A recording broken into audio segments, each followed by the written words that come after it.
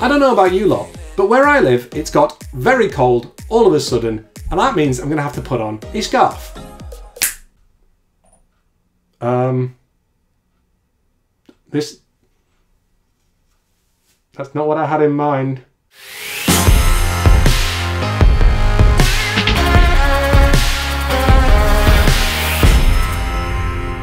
What up team? Lovely to have you aboard. Today we're going to be talking about scaling, inverse scaling and doing a circular reveal.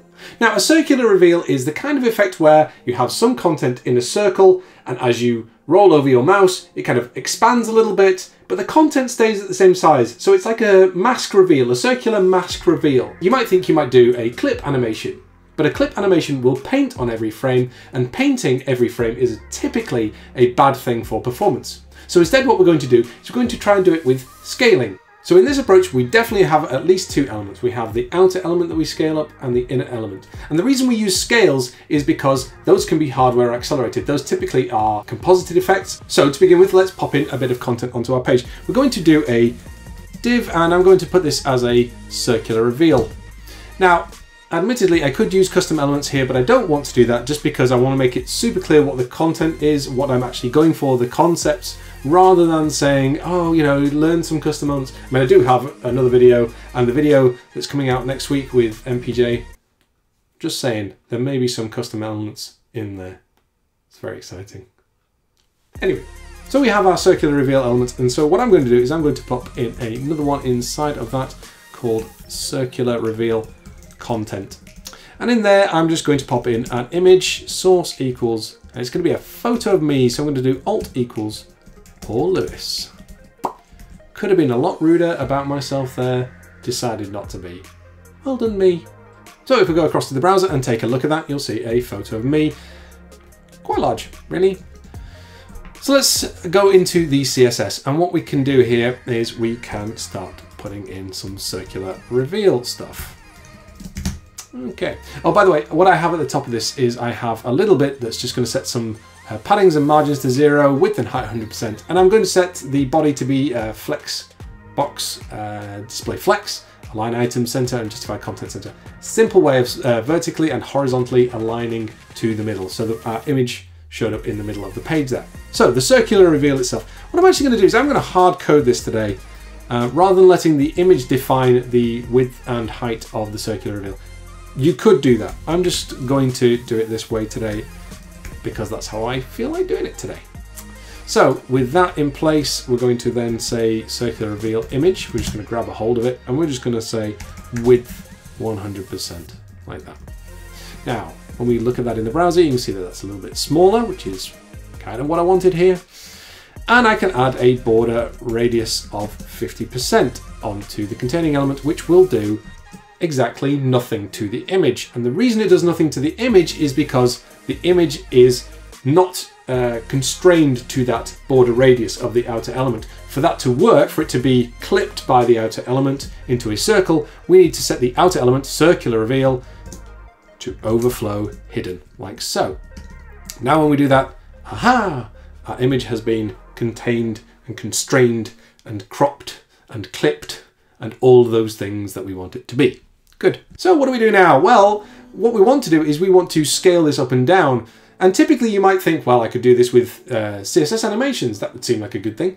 And you might think so, uh, but you'll probably run into challenges. And the reason you'll run into challenges is when you start doing easing. So imagine our circular element, our outer element is scaling up and uh, it's doing so linearly, so without any easing in or easing out. What will happen is the animation will go just fine and we can do a similar kind of uh, inverse animation for the content. So if it's going from say 100% to 200%, uh, we can set our inner element to go from 100% to 50%. And because it's linear, the two will cancel each other out perfectly. However, if we add any easing onto the outer element, we have to counter ease the inner element. And that is really, really difficult to do. And if you get it wrong, it'll kind of jitter and wobble and it won't look very nice at all. So in these situations, what I typically do is I use JavaScript for that kind of animation. So let's do that. We have a circular reveal JavaScript here and I'm just going to go straight in with an IIFE. I'm not going to do anything fancy with you know classes or anything like that. I'm just going to go straight to writing the code that we need here. So I'm going to say const element. I'm just going to grab the circular reveal query selector. Oh, this one here. Oh, there we are. And I want cir cir circular reveal. There we are. I'm going to grab the inner one as well.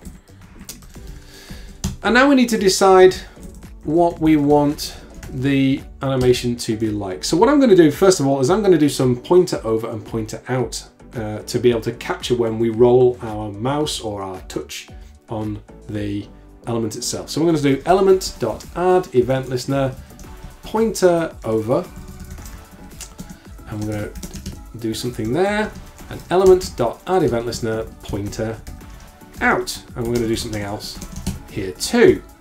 So what are we going to do? Well, let's first of all, let's console.log just to make sure it's working. Pointer over, and then pointer out, like so. Okay, pointer, oh, got pointer out, pointer over, pointer over, there we are. Glad we checked, pointer over and pointer out. Great. Now I feel like when we roll over, we probably want that to be a mouse hand cursor thingy, so let's go with that. We're going to say cursor pointer, like that.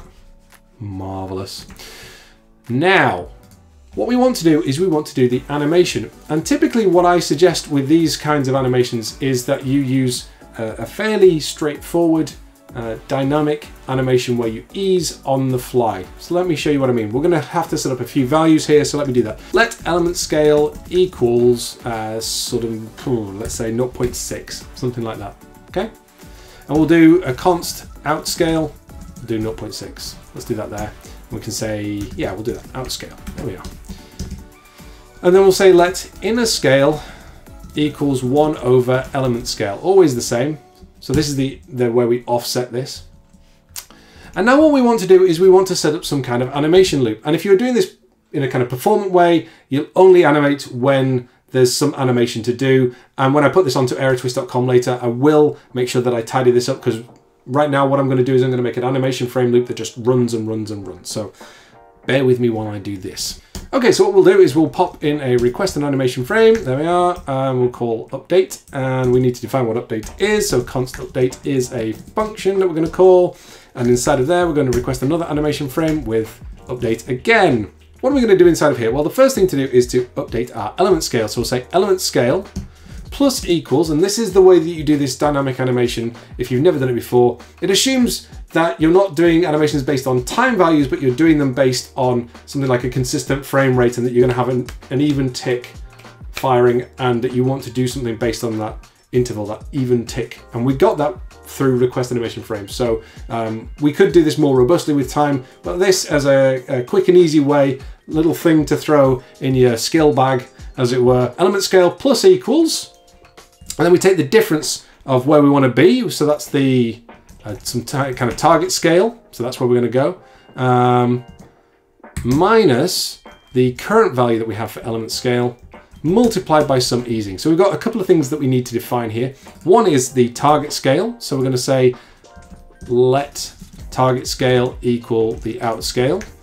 And now what we'll do is we'll actually do this. Uh, we'll initialize our element scale to the target scale and our inner scale to 1 over element scale. It will all become clearer, I'm sure, shortly. We also need to define what easing is. And this is how aggressive or how um, pushy the animation is going to be, how easing it is, and I'll show you what happens when we change that value in but a moment. So easing, let's start that out at 0.1. Okay, so we've got this animation, element scale plus equals where we want to be minus where we are, multiplied by some easing value. And now what we need to do is we need to update our scales. So what we'll do is we will say element dot style dot transform equals, and then we'll do a template string. We'll say scale and it will go for element scale, like so.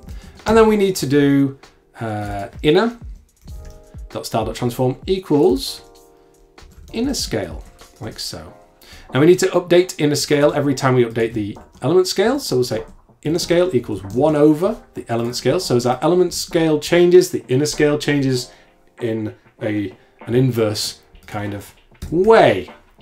Finally, we need to now actually do something with our pointer over and our pointer out. And all we need to do here is we just need to update what the target scale is. So we've got the target scale. So when you roll over, we need some kind of in scale value, which doesn't exist yet. So let's do that. And we'll say const in scale equals one. So that when you roll over, we're going to scale up to one. Or we're going to set the target to one, which the, the request animation frame loop will go through and kind of try and ease us up to that value. And then when you roll out, we will update to the out scale. Now, all being well, yeah, there you go. So what we've got here is we've got an, uh, an animation on a scale that's making our element get bigger. And then what we've got is we've got a counter scale or counter animation. Let me show you a couple of things. So if we didn't style the inner element, the contents, it would just get smaller and bigger like that, you see? But it is because we have this counter scale on our contents that we get this masking circular reveal. Marvelous. The other thing we might feel is that this animation is just a bit too slow, and a little bit too pondersome. And that's where this easing value comes in here because we can change this up to say something like 0.3 and it'll be a lot faster, like so. There we are. So that's the JavaScript side, but we can do a little bit more on the CSS side as well. What we'll do is we will add ourselves a circular reveal, say an after, and we're going to set content to some kind of content for it. I'm just going to put my name in there because it's a picture of me. Imagine this was something like a conference site with like your speaker images or something. So we'll say position absolute, change that to absolute, background red, uh, width 100%, height 100%, left 0, top 0. There we go. Now we get red, and that's not really what we want, but do bear with me.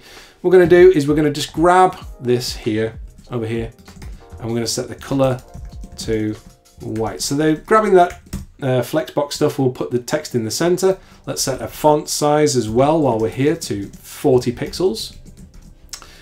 And there we are, that's that. Now what we'll do is we'll fade it in so that when you hover over, or when it's got focus perhaps, we'd also do that there. Let me do that. Hover. We're going to say opacity 1. And by default, opacity 0. And then we're going to set a transition on opacity, 0.3 seconds, cubic Bezier, 0, 0, 0.31. And now as you hover over, you see that fades in with it. Um, what we'll do though is we'll change the background. I really like this in VS Code. We can just come over here. We can grab a color that we think might work. I'm going to go with this kind of slightly purplish color. Drop the opacity down. Save that and go again. Oh yeah, maybe just bring that opacity back up a little bit. There we are. Bring that up there. What we'll also do is we'll also add a little bit of a transform on the bottom of that. Like that. We're going to transition on transform and we will add a slight transform on this. So transform, translate, Y, 10 pixels. And then we'll do to zero pixels when you hover. Do we like that? I don't think we do. Let's do something different. Let's do let's do a rotation. Rotate 180 degrees to a rotation of zero. This probably will be a little bit too much. That's not too bad. Eh, eh. Okay, let's just do like 10 degrees just to give it just a little bit of movement. See, there you are. That's that's better. Slightly better. Just a little bit of movement goes a long, long way in these things. So now we've got an animation that works with JavaScript, that works with CSS, and we can mix and match a little bit here. It's dynamic in the ways that we can kind of roll in and out really quickly and it'll behave as we expect. So I hope you've enjoyed this video. Thank you so much for watching. Give us a thumbs up if you have enjoyed it. That helps me a bunch. Subscribe if you haven't already, and I will catch you lovely folks on the flip side.